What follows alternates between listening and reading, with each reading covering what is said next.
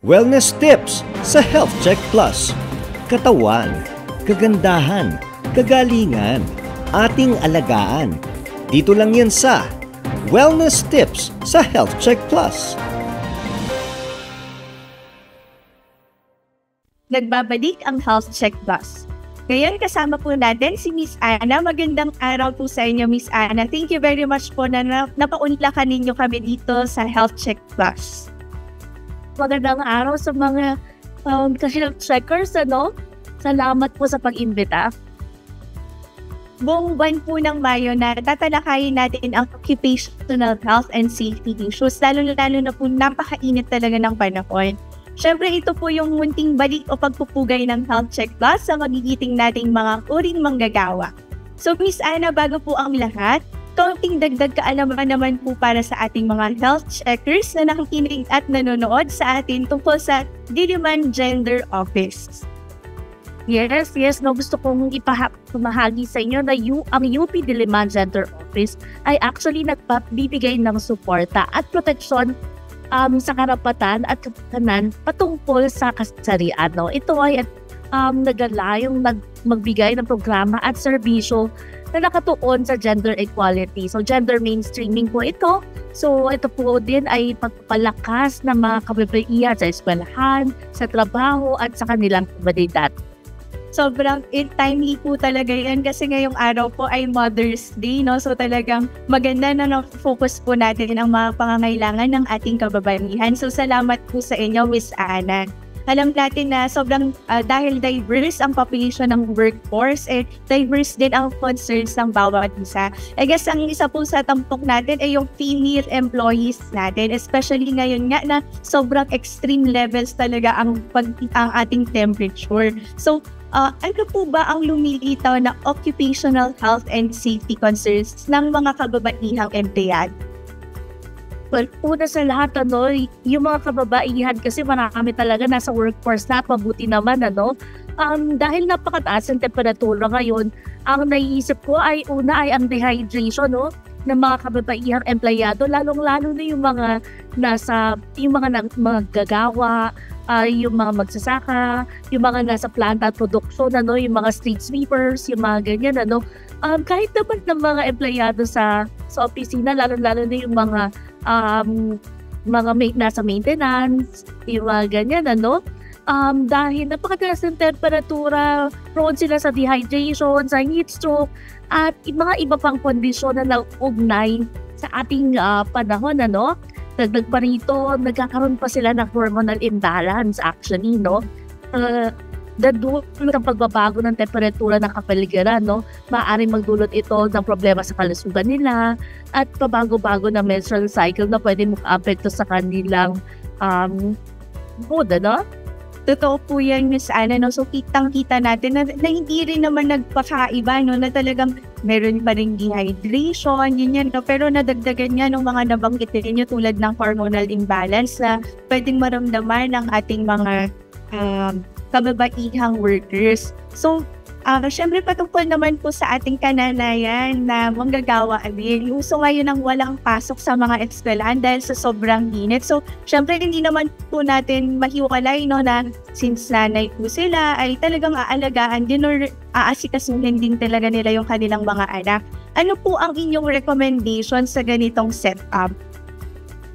Ay, oo, napakaganda ng question mo na yan. Totoo, no? Dahil nga um, kahit hindi sa init, no, minsan talaga dahil sa mga bunsod ng uh, strike, ganyan, no, biglang nawawala ng pasok ang mga bata. Anyway, um, mabuting uh, kailangan kasi i-manage niya muna yung bahay, ano, yung example, yung setup.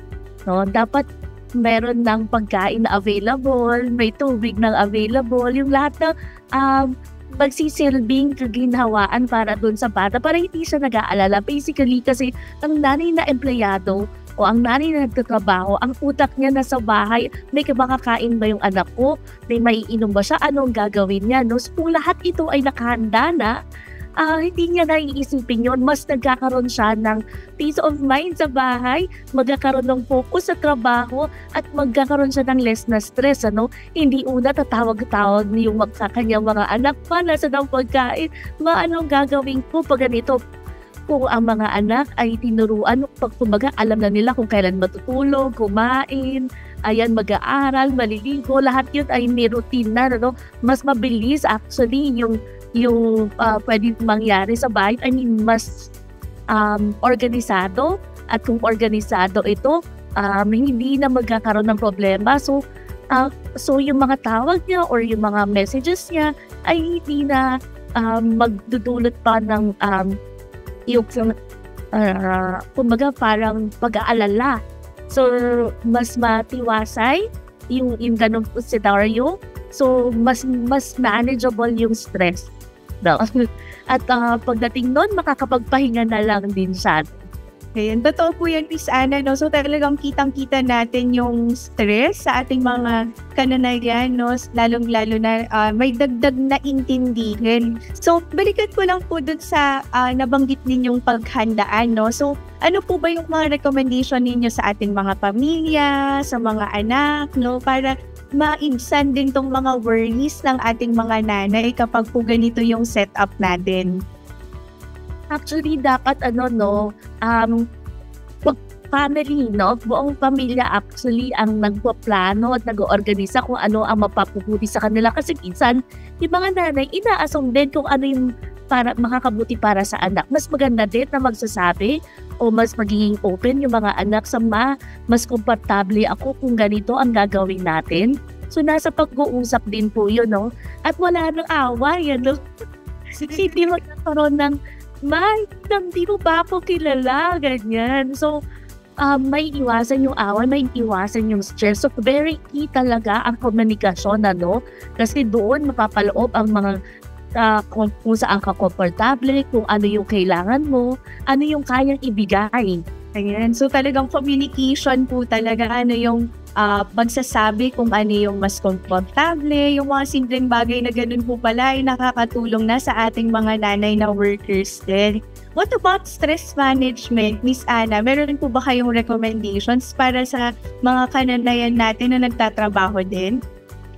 Stress management po, uh, mabuti yan, ano.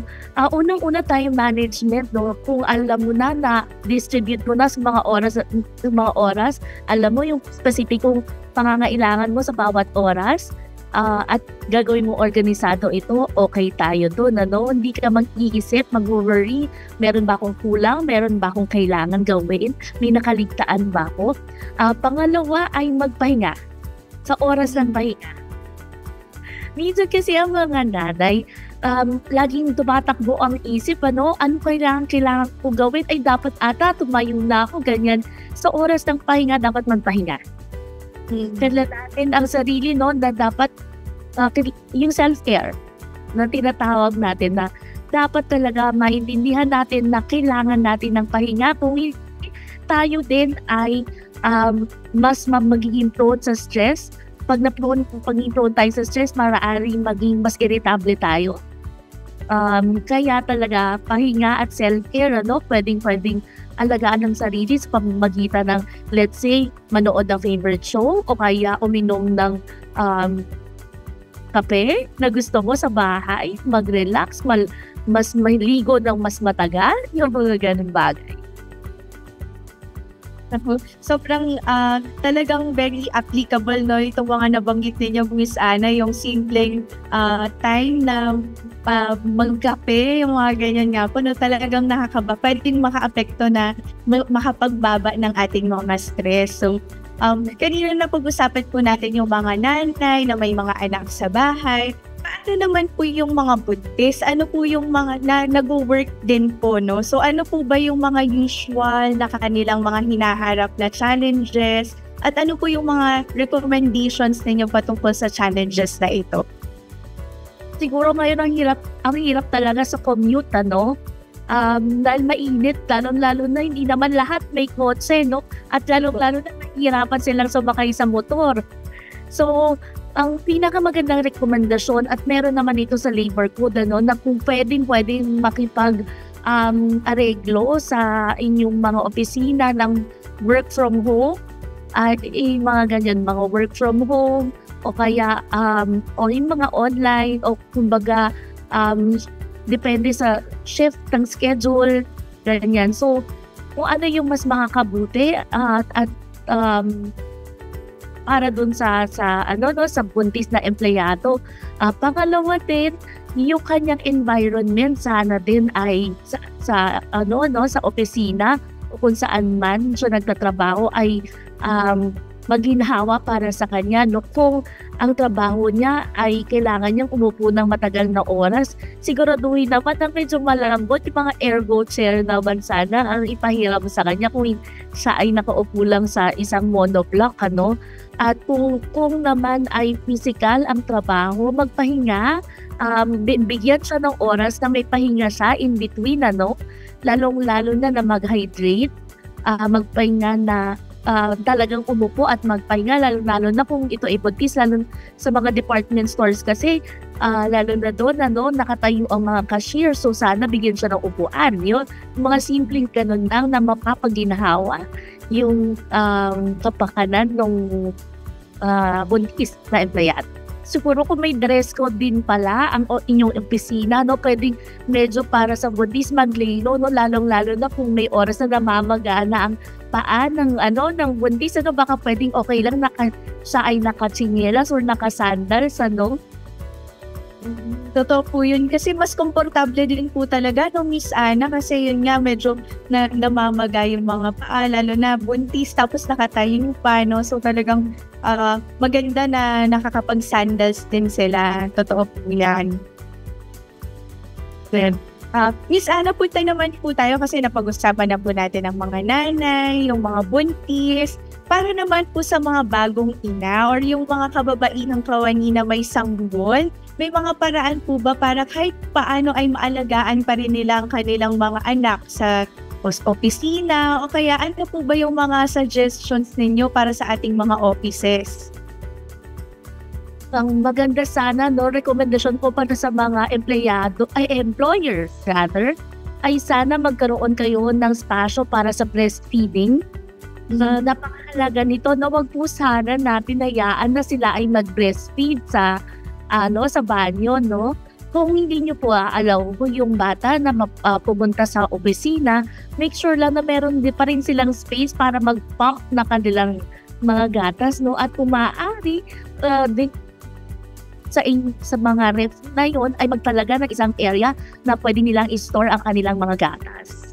Um, hindi naman po kailangan na isang room ang ibigay, no? Magbigay po kayong mga parang mobile na um, gumawa po kayo yung parang be creative po. Pwedeng magawa ng mobile na breastfeeding corner na matatakpan lang po uh, habang nag-breastfeed yung ina at uh, kumbaga may private space lang po, no? dagdag ko lang din ano kasi nasa ano naman yun expanded maternity leave yung breastfeeding um na, na sana din pala uh, aside from that kung meron na hindi na masyadong baby ang kanilang anak toddlers na no na mas mahirap iwanan sa bahay um sana din ay uh, gumawa ng um, child minding corner no nasa Magna Carta of Women naman din ito uh, magtayo ng uh, child minding corner, maliit lang, no? Para hindi na tinatako ng nanay yung anak sa ilalim ng lamesa. So, um, bigay lang ng konting spasyo uh, kung saan naman pwedeng mag-activity yung bata habang yung nanay nagtatrabaho. Actually, pwedeng pwede po i-orient yung buong opisina kung paano po magre-react, kumilos kasama yung bata uh, matuturuan din naman po yung bata kung paano at uh, ano ang kanya kikilos pag siya ay nasa opisina. Totoo po yan, no? So talagang uh, pagka na-educate natin ang lahat no, tungkol sa mga pangangailangan ng ating mga dagdag na pangangailangan ng ating mga kababaihan ay I'm sure talagang susuportahan din po nila itong mga strategies na ito. Punta naman po tayo, Miss Ana, kasi I'm sure curious po din po sa atin ang mga, uh, curious din po ang ating mga health checkers, no?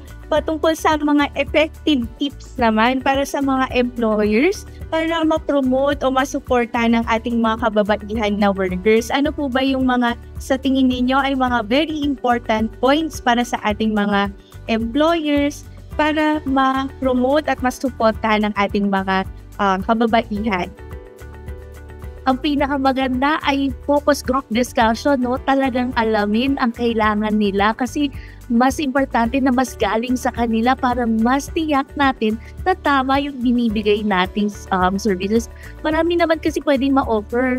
Um, maraming very rich ang ating ano no, ang ating uh, information online, books, ganyan. Pero mas maganda pa rin na alamin mismo doon sa bibigyan mo ng suporta kung ano ang kanyang pangangailangan.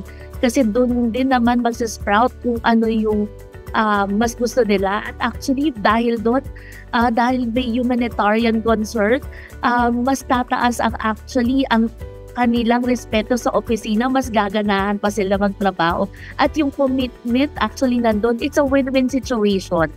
No, oo nga po. Talagang win-win no pagka iniintindi din natin yung mga dagdag na pangangailangan ng ating kababaihan. So, Uh, thank you very much for that. So, kailangan inaalam natin no, ang kanilang kailangan. What about our female workers naman po? Ano po yung masasuggest ninyo para sa kanila para naman po masuporta ng kanilang health and wellness? Kailangan nyo din po pakialam. Ano, tignan nyo din po yung programa. Kailangan, tignan nyo din po inyong mga um, mga rules and regulations, mga batas doon sa inyong opisina, no? At mga provisions, mga benefits. Tingnan nyo kung um, align ba ito sa mga national laws natin. Kasi baka mamaya, meron na yung national law na utos na dapat sinusunod ng private o public, tapos hindi nila sinusunod. Eh, dapat po isa-test nyo at uh, hindi lang isa-suggest talagang ilaban yung karapatan nyo, no? So, alamin nyo unang-unang sa lahat yung karapatan nyo bilang isang babae na empleyado. Um, pangalawa, pag mangialam, tumingin, pagbasid o buser. Uh, minsan kasi reactive lang tayo, no? Pag nandyan na yung problema, saka lang tayo magagawa ng paraan. Pero mas maganda kung inaalam na natin agad, no? Kasi karapatan naman natin ma-orient anong mga benefits uh, na meron tayo, ano yung mga mechanisms na meron sila sakaling may karoon ng problema, no? Katulad ng um, isang occupational hazard at safety concern ang sexual harassment, no? So, meron bang um, patungkol dito? Uh, meron bang mekanismo ang opisina para uh, mag-prevent at mag-respond uh, sa ganitong mga uri ng uh, pangangailangan?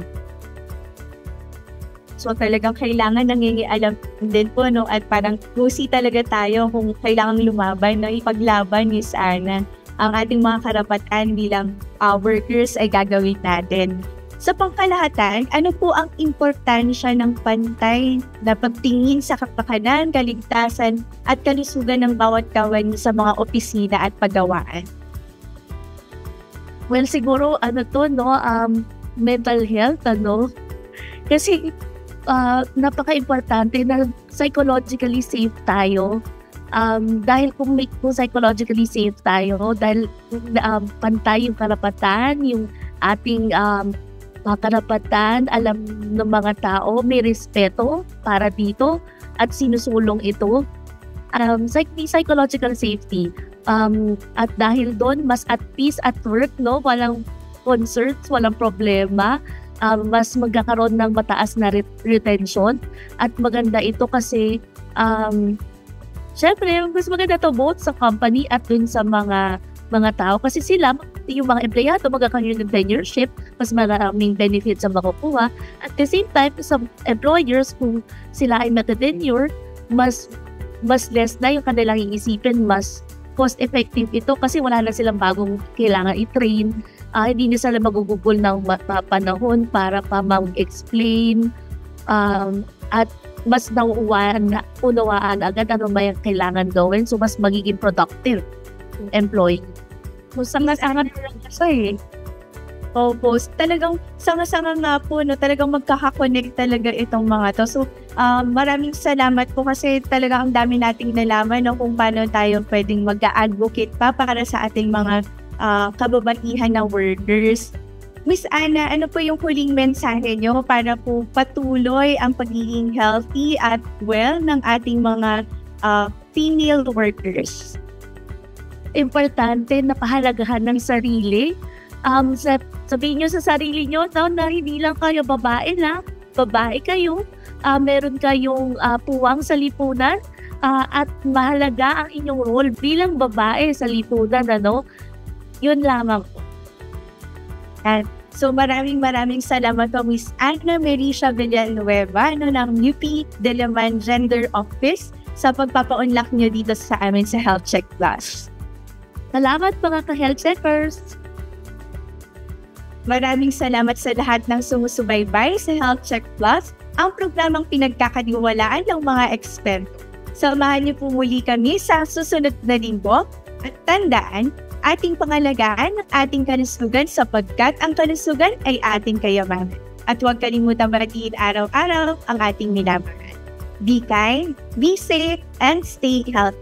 Hanggang sa susunod na linggo, mga health checkers, ako po si Teacher Ellie, Ellie Campos Banayat, dito sa programang pinagkakatiwalaan ng mga eksperto, ang Health Check Plus. Wellness tips sa Health Check Plus. Katawan, kagandahan, kagalingan, ating alagaan. Dito lang yan sa Wellness Tips sa Health Check Plus. Mga health checkers, maaari niyong balik-balikang panoorin ang ating mga episodes sa Health Check Plus YouTube channel or iscan ang QR code na makikita sa inyong mga screen. Mag-comment, mag-like at mag-subscribe na rin sa Health Check Plus YouTube channel at i-click ang notification bell para laging updated sa ating mga features. Be a health checker!